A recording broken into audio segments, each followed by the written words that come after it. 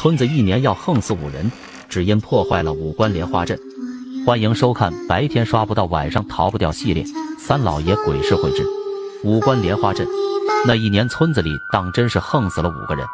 第一个死的是刘志刚，他没事就会到河里去电鱼，就是身上背个大电瓶，用两根竹竿，上面连着电线，同时放入水中，就会把周围的鱼全都电死。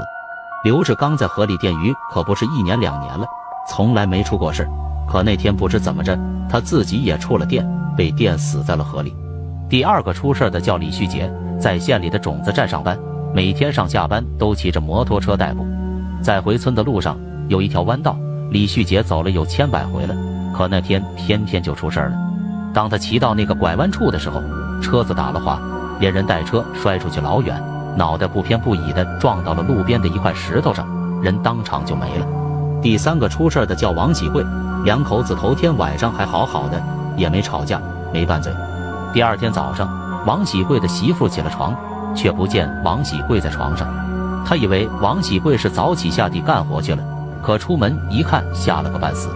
王喜贵吊死在了自家的牛棚里，人都已经硬了。村子里边接连横死了三个人，在村民当中可就传开了，都说死的几个人和那个五官莲花阵有关。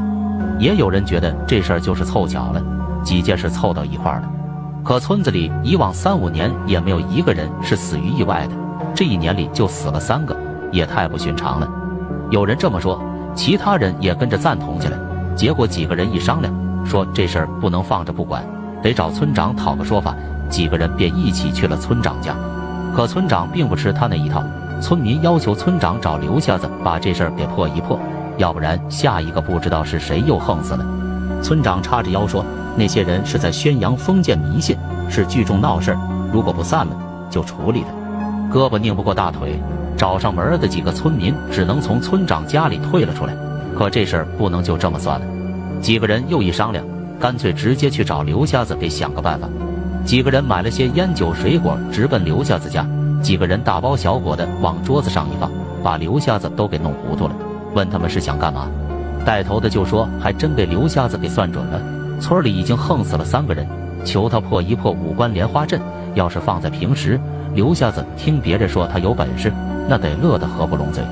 可一提到破五关莲花阵，他就一个劲儿的摆手，说他破不了。村民以为他拿捏呢，就求他出手，别看着村里人死于非命不去管。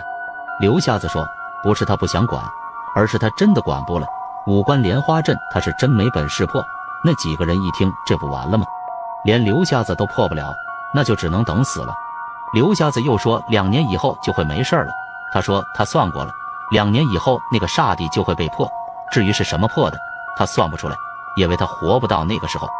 那一年，村里果然有横死了两个人，一个是上山采山货的刘小天跌下了山崖，一个是开货车的赵二死于车祸。算起来刚好五个人。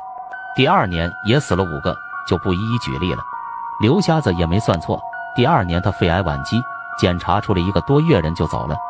还有一件事他也算对了，那块儿煞地真的被破了，那里被改成了刑场，每年都有几个犯人会拖到那里枪毙。有人曾经数过，每年在那枪毙的犯人刚好是五个，只是不知道是巧合还是有意而为之了。